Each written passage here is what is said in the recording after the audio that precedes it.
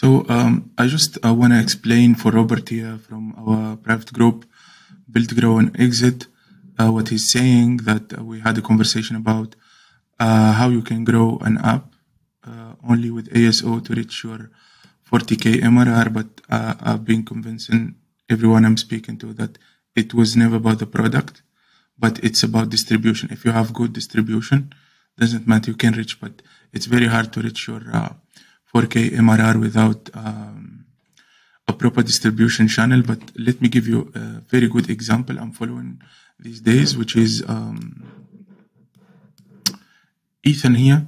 He built the Parallel Live app and he made the social media account, uh, including TikTok and uh, Instagram, his source number one of traffic to make his app known, which is uh, Parallel Live. This is the app you can find it in both stores.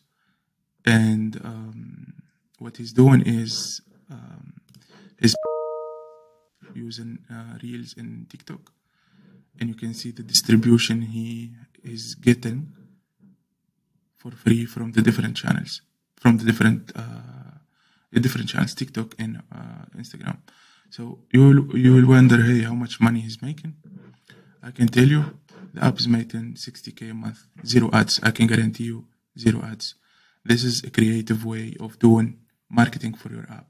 So the idea doesn't matter because if anyone can build uh, this uh, live simulator for Instagram, you can see uh, the idea in uh, in the screenshots.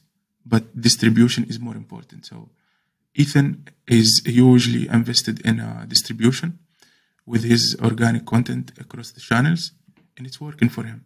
And this is a very good example to uh, to demonstrate what I've been explaining uh, in the private group for the community that distribution is number one, then the product. The product you can build a very stable app, ship it out, make it live in the store, but doesn't matter if you don't have proper way to distribute it.